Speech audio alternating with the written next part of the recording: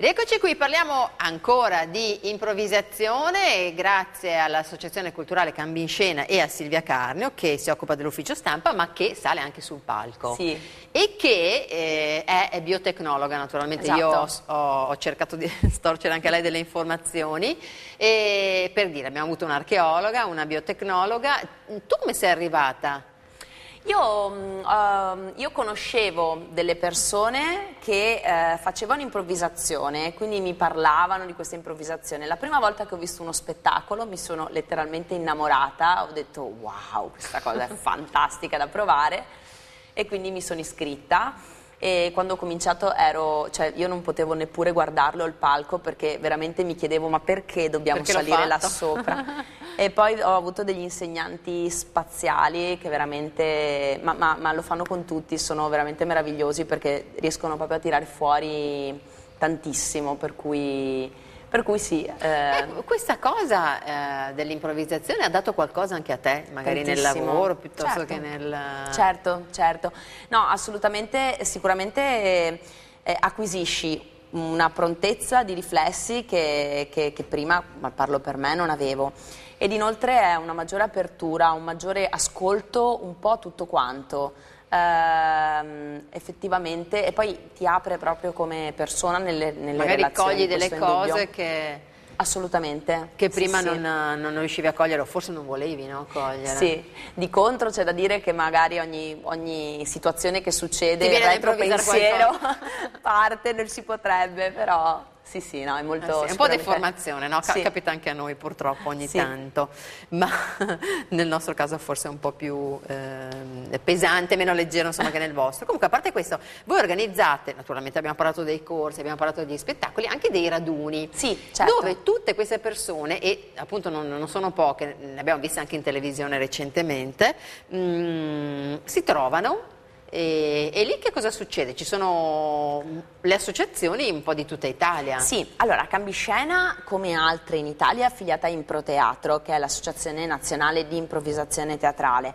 Vengono organizzati dei raduni a livello nazionale in cui ci si trova con i vari allievi da tutta Italia, quindi a livello culturale e umano è uno scambio incredibile, soprattutto perché ci si trova a lavorare con gente che non solo non si è mai vista, ma anche appartiene a realtà differenti, quindi questa cosa è molto molto costruttiva. E, mh, I raduni più importanti sono sicuramente quello di Piombino che c'è ad inizio anno eh, ed è, sono cinque giorni in cui siamo 400-500 persone in un villaggio appunto a Piombino in Toscana e eh, ci sono per, per, eh, per tutta la durata di questo, di questo tempo stage tutti i giorni. In realtà si sceglie un unico stage e ogni giorno si fanno sei ore di lavoro su questo stage, quindi con gente diversa, con professionisti che possono essere italiani o anche internazionali.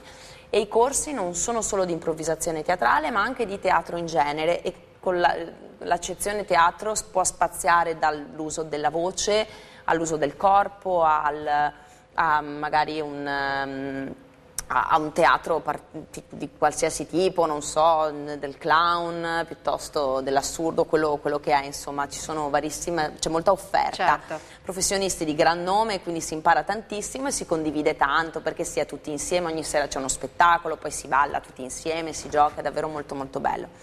Un altro raduno, per esempio, è a Chianciano per primi e secondi anni, eh, che viene fatto tra maggio e giugno, in cui appunto sono i primi e secondi anni in particolare, poi ci sono diversi eh, raduni amatori, ce n'è stato appena uno a Tolfa a Roma e poi c'è anche in Salento. Ci si riunisce una settimana in Salento e la formula è sempre corsi per tutte, per tutte le giornate, però anche con un- una buona parte di tempo libero in Quindi Salento in serve particolare. anche per confrontarsi Assolutamente. per confrontarsi con gli altri. Tra l'altro voi in qualche modo siete legati al teatro a Molla, no? Sì, Eh, loro sono la nostra direzione artistica. E Loro sono di? Di Bologna. Di Bologna. Sono un gruppo di professionisti di Bologna e sono appunto, eh, lo- loro ci, ci- ci insegnano, quindi sono, sono sia parte del corpo insegnanti, sia sono la nostra direzione artistica e quindi si occupano di quella che è la scelta per esempio di chi andrà ad improvvisare, la cura degli spettacoli e quant'altro insomma.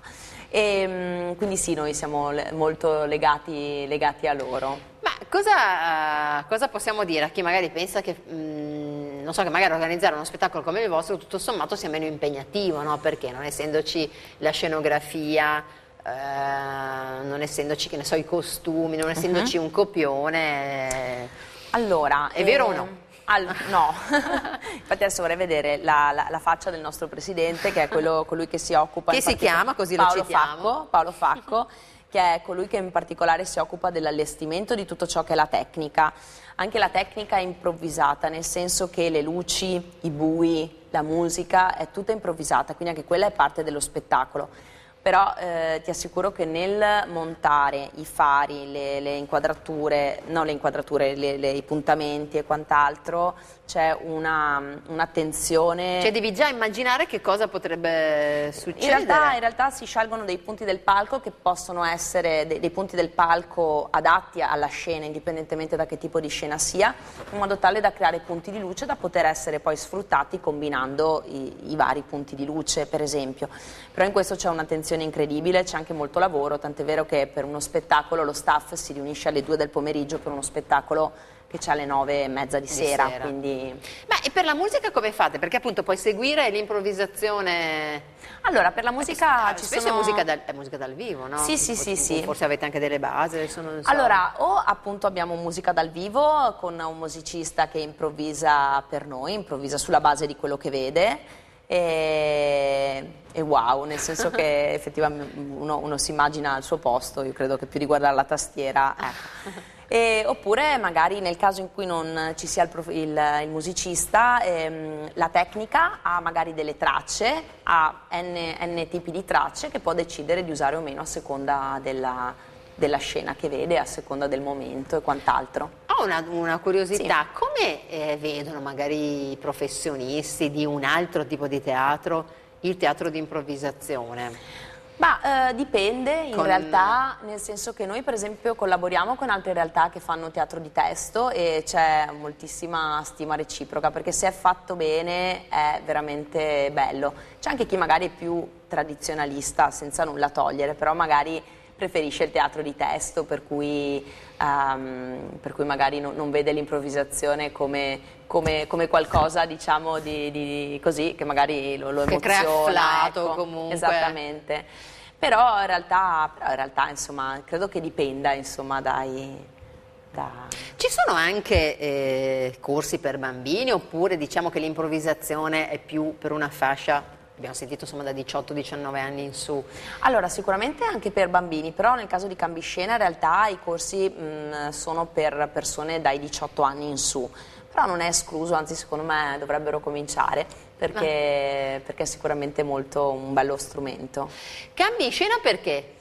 Eh, cambi scena perché è una delle tecniche che sono usate in teatro, no? il mm. cambio scena è quando una scena, da una scena se ne viene a creare un'altra, oppure una scena viene tagliata e se ne instaura un'altra. Quindi è una delle tecniche teatrali decisamente più utilizzate, quindi e quindi così. allora, i corsi durano, abbiamo visto, ci sono al, almeno tre anni, no? Sì, eh, tre anni di scuola, nel senso che si è allievi, primo, secondo, terzo anno, quando si entra negli amatori, quindi dopo il terzo anno, lì c'è gente che ha diversi anni di improvvisazione alle spalle, di sicuro un minimo di 3-4 e dopo c'è anche chi ne ha ben di più che però confluisce in quello che è eh, il gruppo amatori. Ma può diventare una professione questa? Sì, o... certo. Ci sono per esempio in Cambiscena, ehm, ci sono dei professionisti che sono partiti da, uh, da, dall'inizio e devo dire che sono veramente molto bravi. non tutti chiaramente ce la fanno, insomma, però qualcuno sì, eh, chi sì. è particolarmente bravo sì. Bene. Oppure si può fare come vuoi, fare insomma un po' l'archeologa, un po' sì, l'attrice, sì, un po' la biotecnologa, un po' esatto, esatto. Bene, allora grazie anche a Silvia Carni, dell'Associazione Culturale Cambi in Scena. Noi lasciamo spazio ora eh, invece a un altro, eh, un'altra parte di trasmissione, in conduzione però c'è Alessandra eh, Mercanzin che eh, parlerà di motori e lo farà con un esperto. Grazie intanto per aver eh, seguito questa parte di eh, 7 in punto.